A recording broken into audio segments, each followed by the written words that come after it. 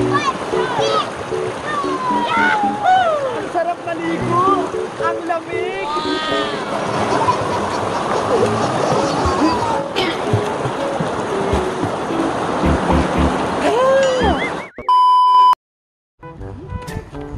Hala, Mateo, may tulay!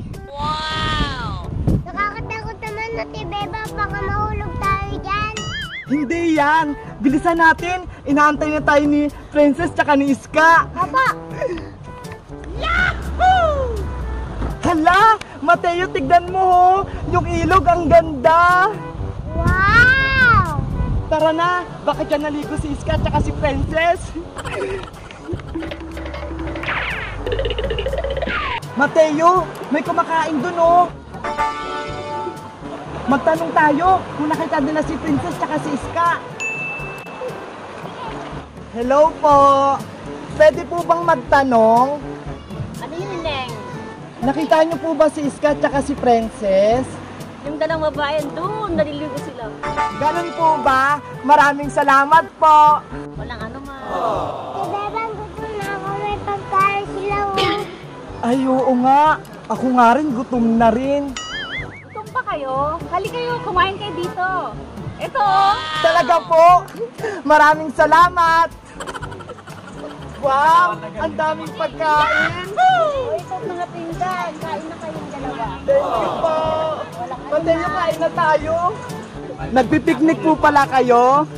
Ang dami nyo kasi. Nagmamarites lang kami dito, di ba Mars?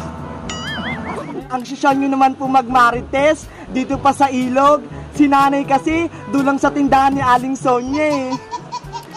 Later. Ayan, busog na ako. Salamat po. Mateo, tara na. Asan kaya si Iska at si Princess? Ang ganda naman ng ilog nila dito.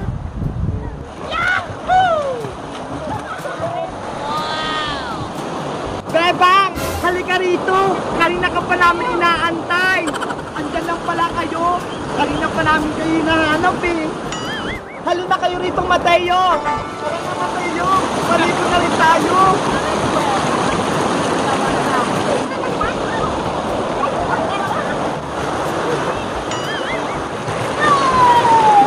Ang sarap maligo! Ang lamig!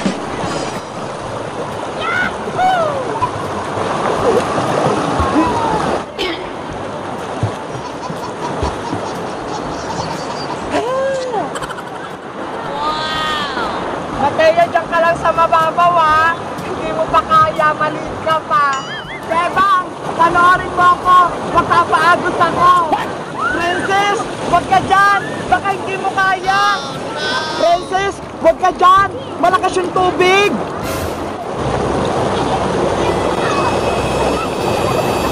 Naku naman, ang tigas talaga ng ulo nito ni Princess. Princess!